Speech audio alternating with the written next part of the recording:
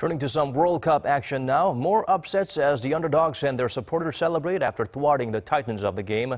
Poland and Colombia were the latest teams to be dealt a hearty serving of humble pie. Lee Seung-jae has the highs and lows of day six in Russia.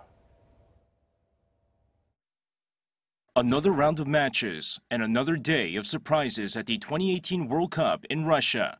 Tuesday's action began with a Group H matchup between 16th ranked Colombia and Japan ranked 61st in the FIFA rankings. Colombian midfielder Carlos Sanchez was red carded early in the match for handling the ball in the penalty area, giving Shinji Kagawa the chance to convert the spot kick, which he took, giving Japan an early 1-0 lead. Despite being down to 10 men, Juan Quintero's superb free kick in the 39th minute leveled the match at one apiece.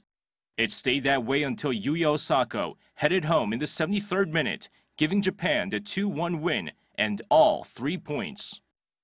Staying in Group H, the next game saw group favorites Poland taking on Senegal at the Otkrytie Arena.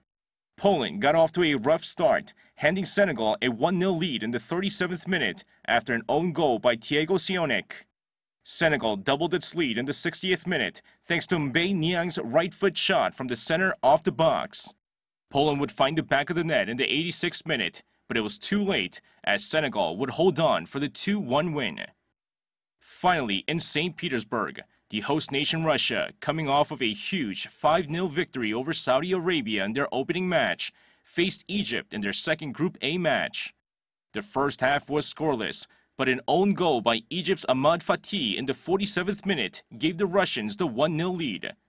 That ignited Russia's offense as the hosts found the back of the net in the 59th and 62nd minute thanks to goals from Denis Cheryshev and Artem Dzyuba. Liverpool striker Mohamed Salah would put Egypt on the board with a penalty in the 73rd minute, but no matter, as Russia easily held on for the 3-1 win.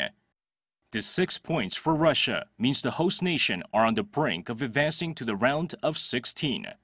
Lee Seung-jae, Arirang News.